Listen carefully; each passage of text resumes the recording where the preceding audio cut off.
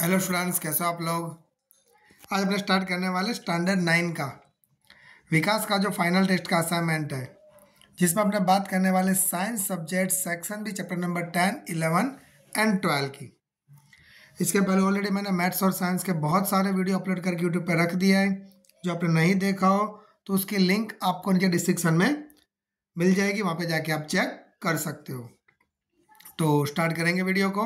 Section भी chapter number ten eleven and twelve तो first of chapter number ten question number one derive the unit of work in SI unit system and define it तो first of when a force act on an object and the object displaced is called a work done first of work done किसको बोलेंगे?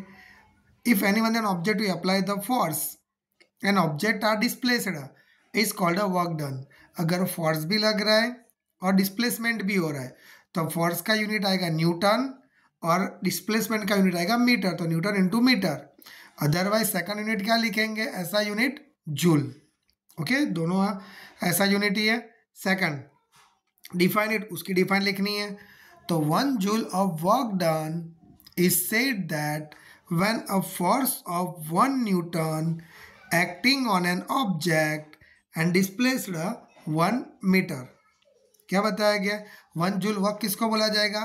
When a one force of an of one newton acting on an object and displace कितना होगा? One metre जितना। Clear okay the next question state the main types of energy तो two types of energy है kinetic energy and potential energy right next write four example of kinetic energy तो एक तो जो भी मौसम में उसको अपने काइनेटिक एनर्जी बोला जाएगा।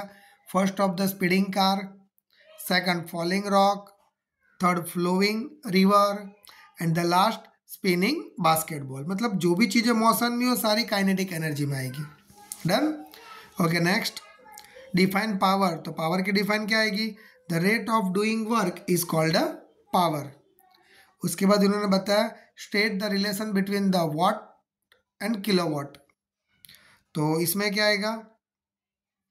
One watt is equal to one joule per second और वन वॉट तो one kilo watt is equal to one thousand joule per second okay right clear one watt is equal to one joule per second and one kilo watt is equal to one thousand joule per second और one thousand watt right okay next question number five An object of mass 15 kg moves with a constant velocity for meter per second.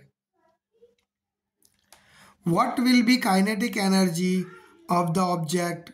तो इसका answer क्या आएगा mass of the object M 15 K G मास दे दिया गया velocity दे दिया गया four metre per second inverse M four metre per second square find करना आपको काइनेटिक एनर्जी तो काइनेटिक एनर्जी की फॉर्मूला आती है E K is equal to half M V square M की वैल्यू फिफ्टीन जबकि velocity four four two time आएगी.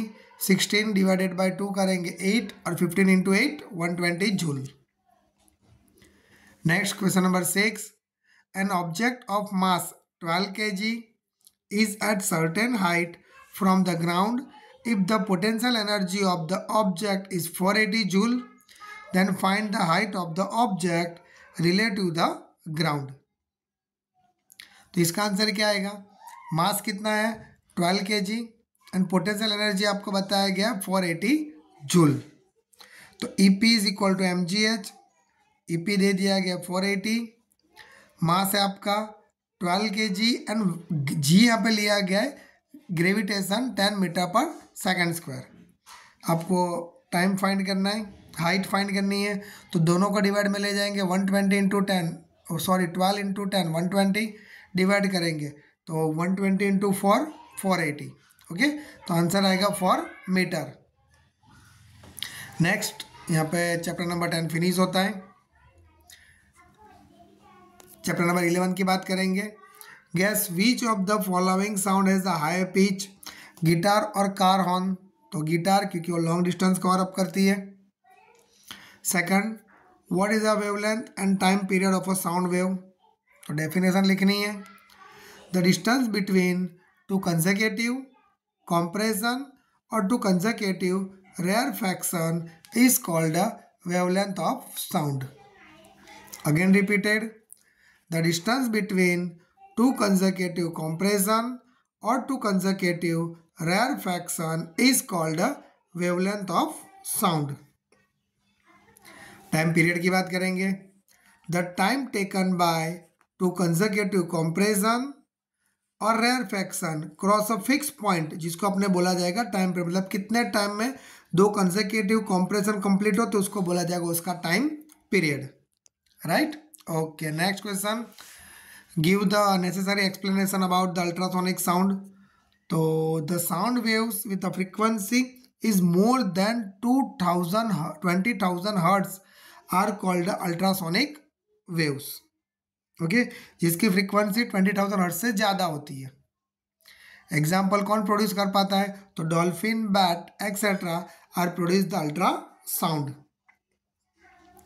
next question an echo heard after three second what is the distance between the source and reflecting the surface if the speed of the sound is 342 meter per second?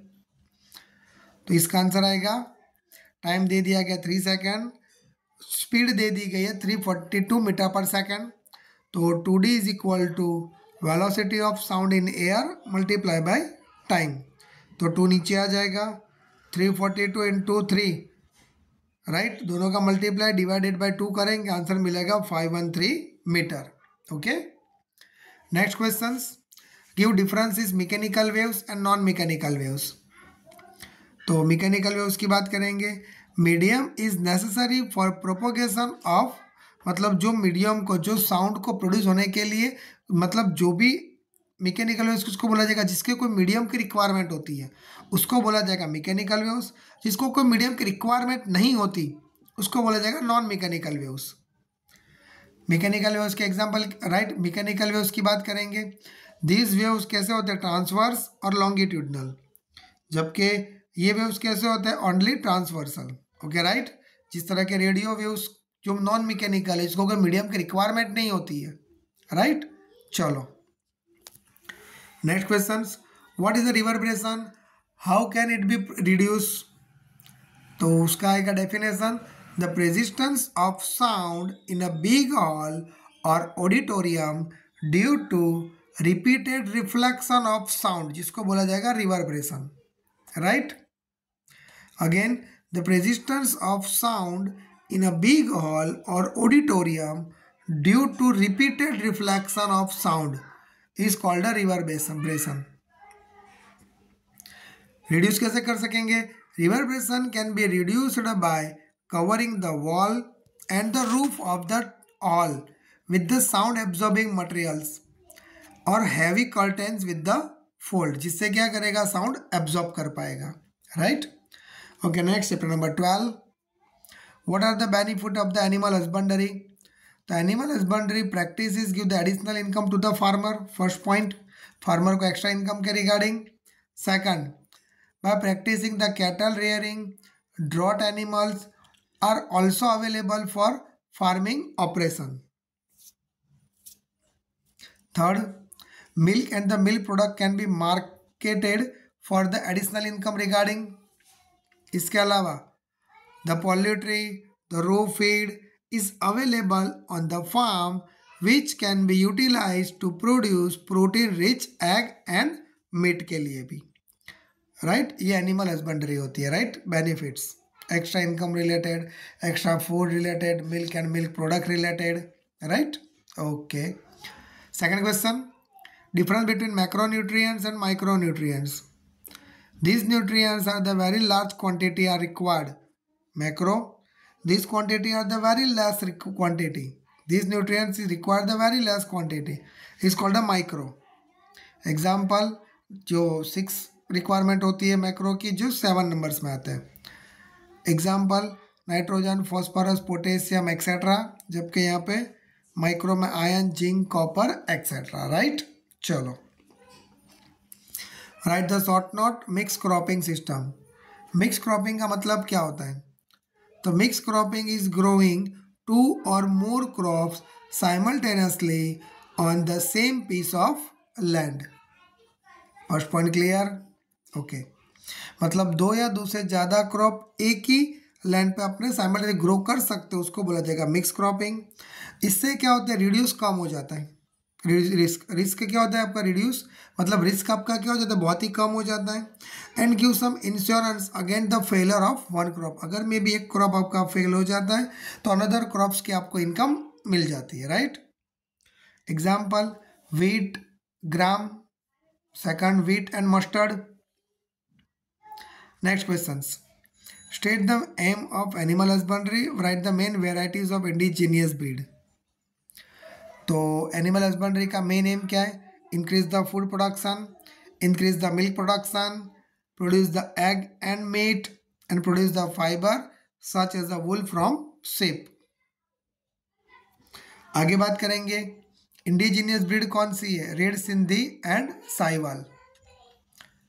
Question number five state the factors causing harm to crop production and state the water loss does it cause the factor causing harm to crop production include the pest pest लगने की वजह से diseases weeds extreme weather condition की वजह से drought flood soil nutrient deficiency improper irrigation practice climate change air pollution किसी की वजह से भी हो सकता है इससे क्या होता है तो इससे ये होगा कि all the factors are mainly responsible किस पे करेगा loss of damage to the crop मतलब क्रॉप जो आपका डैमेज हो जाएगा। Question number six why are biotic manure and chemical fertiliser use in farm तो biotic manure and chemical fertiliser are use to increase the yield first of the yield के लिए field के अंदर। Second manure provide करेगा bulk of organic materials whereas the fertilizers give nutrients essential for growth and development of the plants के लिए। इसके अलावा, वो depleted the fertility of soil की बनाने के लिए रिप्लेनिश करने के लिए फर्टिलिटी ऑफ़ सॉइल लाने के लिए यूज़ कर सकते हैं मैन्योर और फर्टिलाइजर्स का right okay clear so that's यहाँ पे अपना वीडियो फिनिश होता है। वीडियो पसंद है वीडियो को लाइक और चैनल को सब्सक्राइब करना मत भूलना।